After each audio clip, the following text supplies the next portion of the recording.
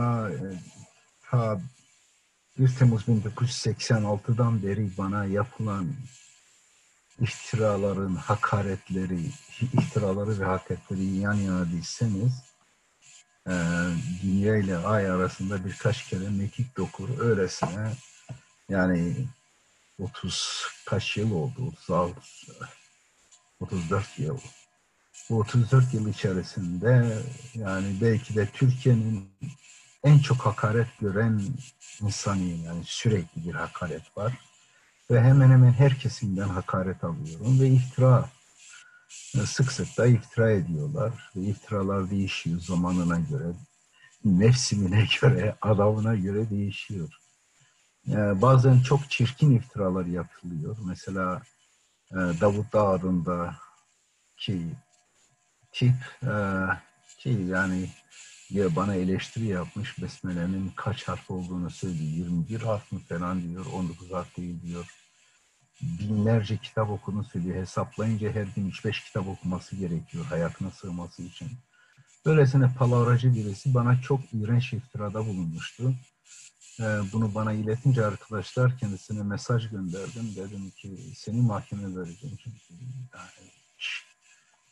yani, e, böyle iğrenç iftira. E, tabii ki iftira yaptığını biliyor. E, ahlaksız birisi. Tuttu hemen sildi onu. Ondan sonra başkaları onun iftirasını yayınla, yayınlıyorlar. Yani maalesef ahlak yok, onur yok birçok insanda. Vicdan yok. Tabii ki geldi oraya ben işte ben bunu söylemedim veya da şöyle söyledim diye kendi iftirasını inkar etmeye çalışıyor falan. Öyle iğrenç bir şey. Benim hakkımda neler uydurmadılar yani CIA ajanı olduğumu, Mossad ajanı olduğumu, KGB ajanı olduğumu, Mun tarikat üyesi olduğumu falan filan. Hatta Fethullahçı olduğumu söyleyenler bile vardı. Çünkü Türkiye'de dindarlar, muhafazakarlar Fethullah'a taparken işte Hoca Efendi Hazretleri diye bütün AKP'liler falan yıllarca Türkiye hakkında onu yardım ve hatta o yüzden benim videolarımı, onu eleştiren videolarımı bile Türkiye'deki mahkemeler sansürlediler. Böylesine ahlaksız bir ortamdayız ama bu adam kim biliyor musunuz? Bu adam Haluk Özgül adında birisi. Bir dinleyelim bakalım kendisini sorunlu birisi. Çünkü orada konuşmada kendisini duyuruyor ki o dahiymiş yani çok yüce bir zekaymış. Ve kendisini araştırdım. Bakın kitapları hep komplo teorileri, palavra hikayeler. Baştan sona palavra. Yani palavra endüstrisine çalışıyor. Öylesine ilkel kitaplar. Hatta 19 diye bir kitabı var. Altında diyor Atatürk geleceği biliyordu falan. Bir baktım hikayeler, Atatürk hakkında uydurulmuş menkıbeler.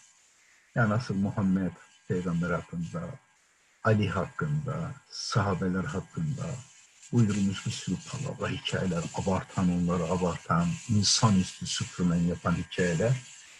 Bu da o hikayeleri satarak hayatını kazanan bir sersemit. Sersemit diyorum, inan ki onun bana yaptığı bu iftiranın yanında bu hakaret bile olmaz. Hakaretle iftira arasında önemli bir fark var. Hani bana yapılan hakaretleri muhatap bile almıyorum ve hatta videomun, videoların altında birçok hakaret göreceksiniz. Belden aşağı olanlar otomatik olarak filtreleniyor. Ee, veya da çok başkalarına hakaret ediyorsa onu siliyorum ama bana yapma hakaretlere ilişmiyorum bile. Umurumda değil bana zarar vermez ama bu adam iftira atıyor. Utanmadan, sıkılmadan iftira atıyor. Tabii kendisine meydan okuyorum. Buyursun, gelsin beni istediği programa davet etsin. Orada e, kanıtlarını göstersin bakalım.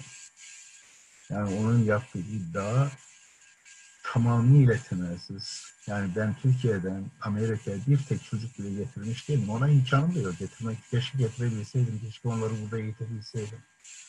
Burada oğlumun okulunda ne, neyse yani oğlumun oğullarımın okuduğu ortaokul ve lisede 10 yıl boyunca ders verdim. Üniversitede felsefe ve mantık dersleri verirken part time, orada da full time ders verdim 10 yıl boyunca.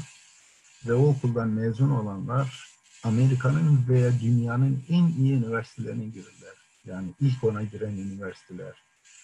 e, Princeton, MIT, Columbia, Stanford bu gibi üniversitelere girdiler. Aa, ve bir kısmı doktora aldı oralardan, bir kısmı profesör oldular. Yani böylesine bir e, şey e, öğrenciler yetiştirmiş birisiyim ve Türkiye'de e, bir bir tek çocuğu buraya getirmek için bir öneride bulundu hem de böyle açık gizli müzik falan bir şey değil. Neyse bunu onun